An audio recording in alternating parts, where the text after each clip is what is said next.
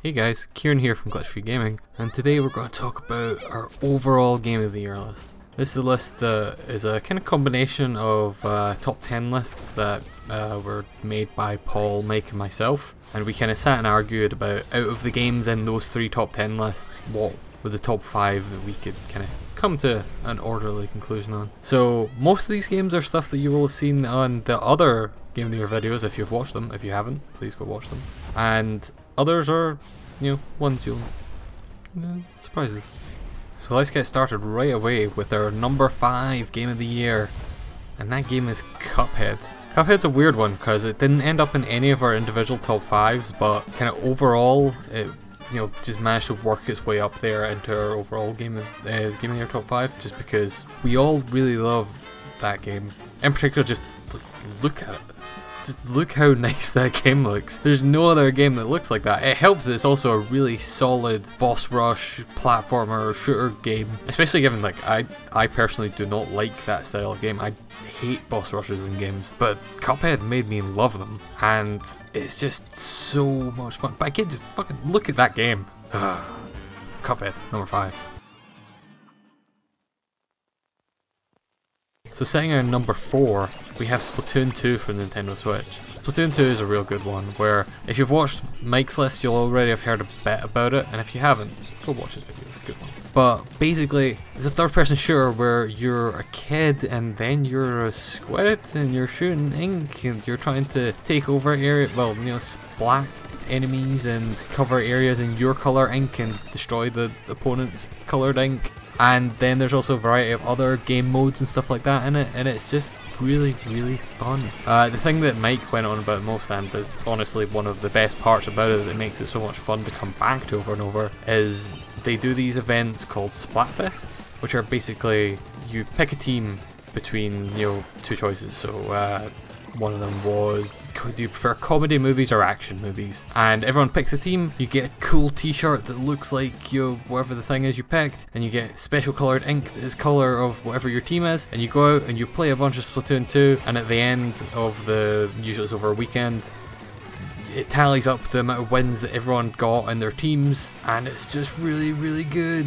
It's so much fun. Uh, and then there's just all this other stuff. A really robust single player mode. There's a new mode called Salmon Run that is basically a kind of wave based defense, kind of horde mode, but they make it a bit more aggressive because you have to go and destroy these boss enemies to get salmon eggs and take them back to your base. It's just awesome. That's Splatoon 2, number 4. Now at number 3 we have Nier Automata, which was my overall game of the year but it didn't really show up in anyone else's list because I kind of played the most of it. But it's one of those ones where we've all played enough or seen enough of it that we can all agree that it's just a fantastic game.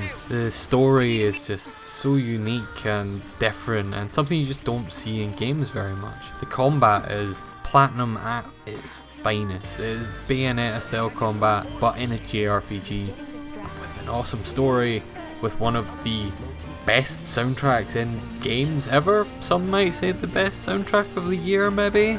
You need to go and listen to our podcasts to find out if we did. But yeah, it's just amazing. There's just an awesome cast of characters, beautiful, beautiful soundtrack, and an okay looking world to explore. That is Nier Automata, our number three game of the year. Is this their king?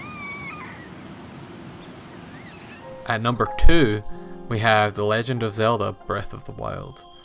So, this is such a weird one because in the past I've kind of been the one who has been kind of fanboying for Zelda on the podcast before, but Breath of the Wild is one that kind of won everyone over. It's just got this gorgeous open world to explore. It makes exploration fun again in open world games in a way that just kind of hasn't been done in a long time. Kind of renews a lot of the sense of wonder that open world games had when you played them, you know, back when they were a new idea. Back when every other game that came out wasn't an open world game. You know, back when every game wasn't just, hey, here's open world games with Batman combat, which is kind of every game now. And it also helps that it's got all the Zelda charm, it's got brilliant music, it's got really well designed puzzles, it's got really fun to use weapons and armor and powers and things like that. and it's got some story as well. The story's not the best, but it's.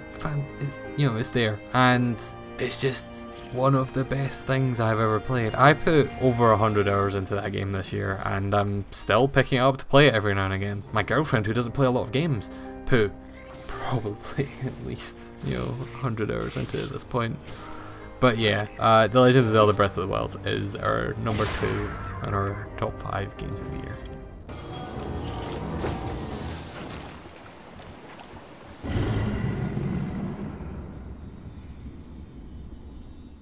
Finally, the moment you've all been waiting for. Although, if you did watch the other videos, and again, if you haven't, you probably should go watch them. You probably already know what this game is going to be. It showed up on all of our lists, and that is Super Mario Odyssey for Nintendo Switch. It's one of those things where you know that a 3D Mario game is going to be great. Even if you're like me and you have some misgivings about Mario Sunshine, uh, it's still a great game.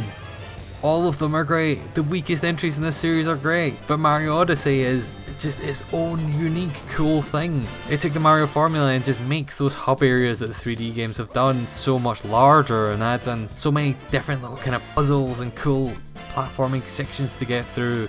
Some of them harder than others, some are relatively easy, but that just means that if you want to get towards the end of the game and you don't want to do all the hard stuff, sit and do the easy things. You do that. Or if you're like me and you're a completionist for Mario games, then you go and you do literally everything in that game. I am so close to getting every single moon in Mario Odyssey. I just finished one of the hardest levels in the game and I'm gonna finish everything. I finished the story in that game months ago at this point, and it's one of those things where I could play that game forever if they just had more content in it. And there's tons of content in it already, I just mean if they kept indefinitely content in it, I would happily play Mario Odyssey forever. It is the best game of 2017, and I love it.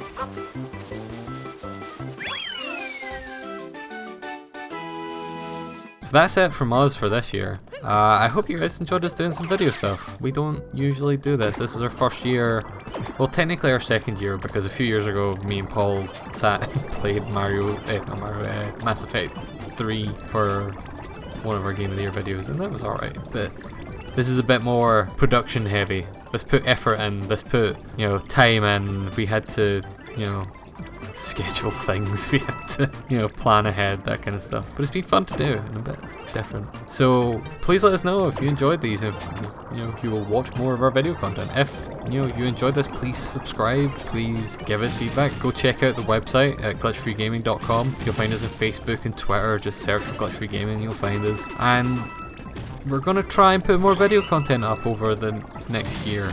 This isn't gonna just be a once a year thing. You may have noticed we put up a couple of games videos towards the end of last year, and we're gonna try doing more of that, especially Switch stuff, just because we all love the Switch.